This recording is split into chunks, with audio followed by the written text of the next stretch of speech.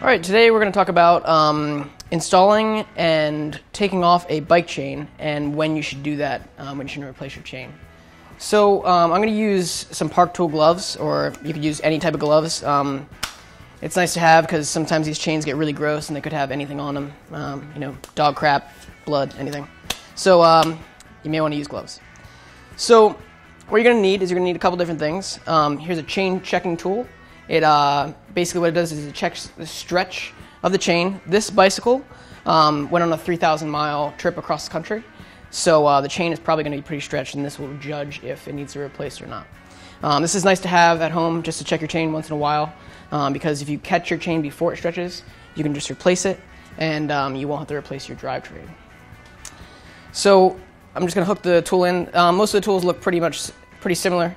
Um, and you can see it drops right in and slides back and forth. So he has lots and lots of miles on this uh, chain, and it's very, very worn out. So this is worn out to the point of where he's going to have to replace um, his uh, cassette in the back here, which are all the rear gears, and also all the gears in the front as well. So you don't want it to get to this point.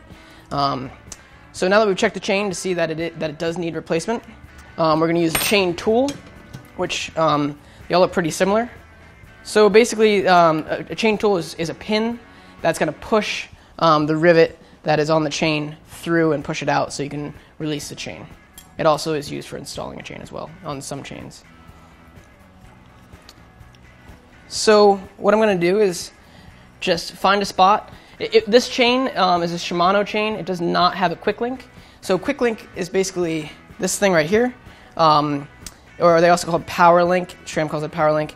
Um, it comes on a lot of chains, and basically it's a really easy way to install and take off a chain because they just snap together instead of using an ch- actual chain tool. You'll still have to size your chain, um, so you may still need a chain tool.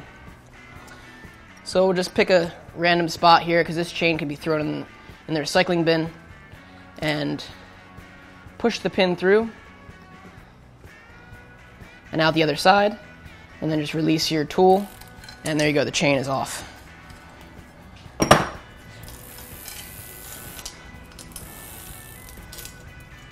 So now you have the old changes thrown in the recycling.